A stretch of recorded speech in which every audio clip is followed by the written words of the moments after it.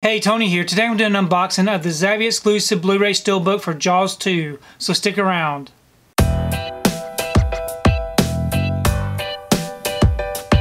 So today I received my order for Jaws 2. This is the Zavvi exclusive Steelbook with the Blu-ray. Here's the front, and here's the back. If you'd like to check out these bonus features, you can go ahead and pause and do so. I'm to go ahead and remove this from the wrapper and we can take a closer look at this steelbook. Okay, I've got the wrapper off and the J card removed. Here's the front of the steelbook. It is a matte finish. Really like that image there. And then here's the back. Then we open it up. We got the front and the back together with the title on the spine.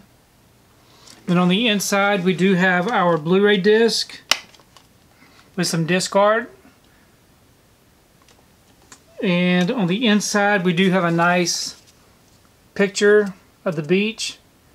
Um, as you can see there, really good image. Overall, I'm really happy to have this steelbook in the collection. So I've gone ahead and I placed this steelbook inside this protective bag. Now this bag will help keep the steelbook from getting scuffed up on the shelf up against my other steelbooks. I do have an affiliate link down below where I purchased these bags off of Amazon. I also wanted to take time just to show you the regular US uh, Blu-ray release. So as you can see, it does have very similar artwork um, with the title on the US release.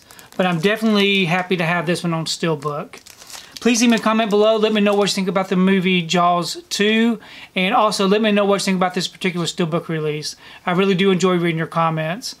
If you like what you saw here today, please give it a thumbs up and share the video. If you haven't subscribed to my channel, I'd really appreciate it if you would subscribe. If you do subscribe, please remember to hit that notification bell so that you can be notified every time I upload a new video. If you haven't found me on my social media accounts, I'm on Facebook, Twitter, Instagram, and on TikTok. And if you'd like to find out what I've been watching, you can find me over on Letterboxd. I do have links below. But thanks again for watching, and we will see you next time.